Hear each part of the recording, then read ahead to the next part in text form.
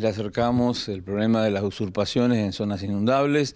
eh, propuestas concretas, una de ellas refiere a la costanera del Salado, eh, desde Santa Rosa hasta el hipódromo. Em, esto tiene que ver con prever aspectos eh, por lluvias fuertes que generen em, un límite para la urbanización de la ciudad de Santa Fe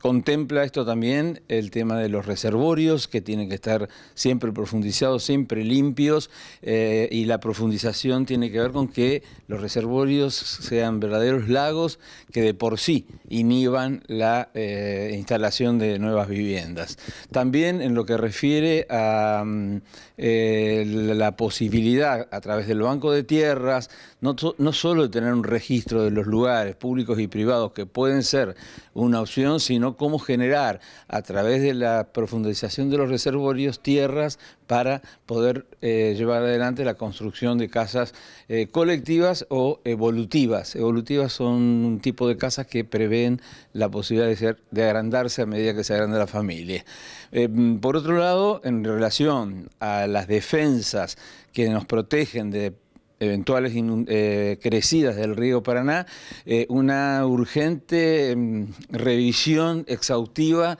de cómo están los terraplenes. No todos los terraplenes que defienden a la ciudad de Santa Fe y parte metropolitana de crecidas del río Paraná han sido en su oportunidad construidas con las pautas ingenieriles. Por lo tanto, hay que eh, rápidamente aprovechar las bajantes y la sequía que tenemos en estos tiempos para reforzar esas defensas. Eh, por supuesto que el tema de las usurpaciones, los asentamientos ilegales en toda la zona, eh, digamos, del este de santafesino, eh, es compleja, porque son muchas las familias, porque eh, la tarea siempre hay que trabajarla